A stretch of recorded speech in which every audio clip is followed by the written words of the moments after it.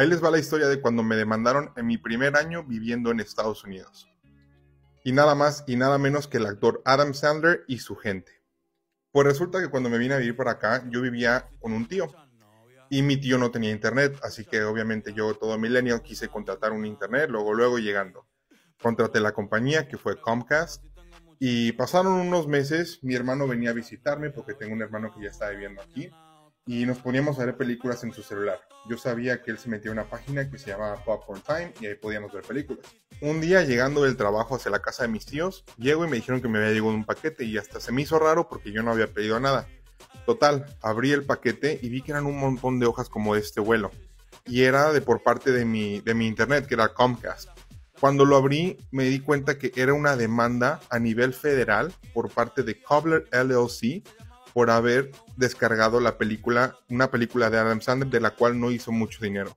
Obviamente yo me saqué de pedo y dije, no mames, esto no, esto no va a seguir, o sea, esto es una broma o algo así, porque jamás te imaginarías que algo así pasaría, ¿no?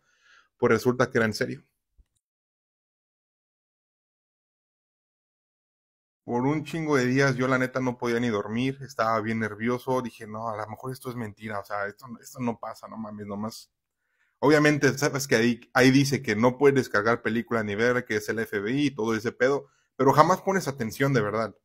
Total, una semana después me llega otra hoja y dije, mames, entonces sí es de verdad, donde decía que me tenía que aparecer entre un, un juez y un abogado para, para, ver qué pedo con esto. Entonces dije, no mames, o sea, yo la verdad sí me espanté y dije, no, o sea, ¿qué voy, qué voy a hacer? Me, estaba bien espantado y en esos tiempos todavía estaba yendo a la escuela. Y el día de clases que me tocaba ir después ahí a corte, yo estaba sudando, o sea, tenía un chingo de miedo. Ahí si lo quieren buscar en internet, esa es la noticia. Total, salí de clases y me dirigí a la oficina donde iba a ser la, como la corte y la cita con el abogado de que me demandaba y con el abogado público que me estaba defendiendo. Ya platicando ahí, pues vi que la cosa iba más en serio todavía. Resulta que sí, pues era una demanda federal y mi abogado me explicó que había descargado películas y que la compañía Cobbler LLC, que es de Adam Sandler, como en esa película él no ganó nada de dinero, se estaba enfocando en demandar a la gente que estaba descargando la película ilegalmente para poder tratar de recuperar lo más dinero posible. Esa es la película. Y pues ahí fue cuando se me prendió el foco, porque me di cuenta que en iPhone no puedes descargar películas de esa página, solo si tienes Android. Y yo nunca había tenido Android, yo tenía iPhone. Entonces ahí mi defensa era de que yo no fui porque yo nunca he tenido Android y esto se tiene que hacer con, uh, con Android. Y ahí me dijeron, ah, espéranos tantito, me dijo el abogado de los que me demandaban. Y cuando regresó, me trajo una hoja como 150 películas que mi hermano había descargado en su pinche celular. Había hasta de las pinches tortugas ninjas. Estaba la de Magic Mike. Estaba la de los pinches pingüinos de Madagascar también, o sea, un montón de películas pendejas. Y dije, no mames, pues ahora sí que todo lo que sale ahí en tu dirección IP, ahí estaba. Y me dijeron, mira, tiene de dos. O peleamos, llegamos a un acuerdo, o esto sigue y yo le puedo avisar a las demás compañías que vienen aquí. Dije, no mames, ya perdí.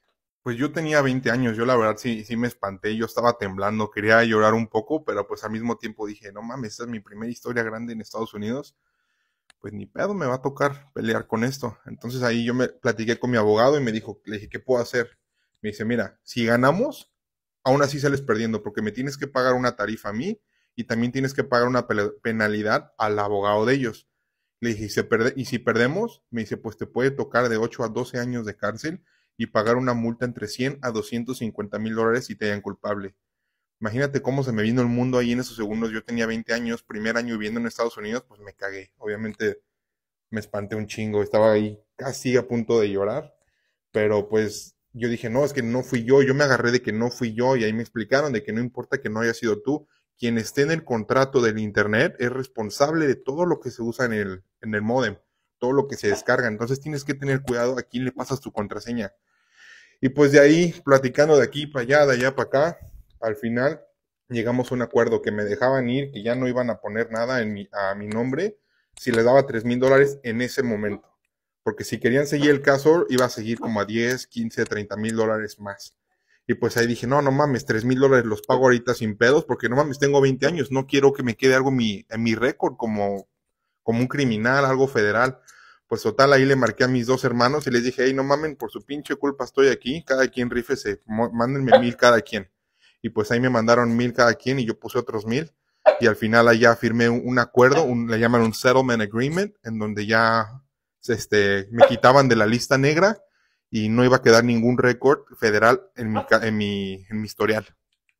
Hasta le pedí a mi abogado que me tomara una foto para que ahí quedara para el recuerdo. Pues esa fue mi historia y yo la verdad nunca había sabido de alguien que le mandaran por eso. Yo fui el primer pendejo que conozco que me tocó. Y pues ahora sí aprendí que aguas a quién le pasan la contraseña de, su modem porque todo lo que se descargue, todo lo que se vea, ustedes son 100% responsables. Y en este país sí se lo toman en serio. Y pues al final, ya meses después, vi que fuimos 500 personas en todos Estados Unidos a los que demandaron y pues yo fui una de esas y mi pedo. Me tocó aprender y ya tener cuidado a quién, a quién le tienes que pasar el modem. Así que en la perra vida vuelvo a ver una película de ese güey.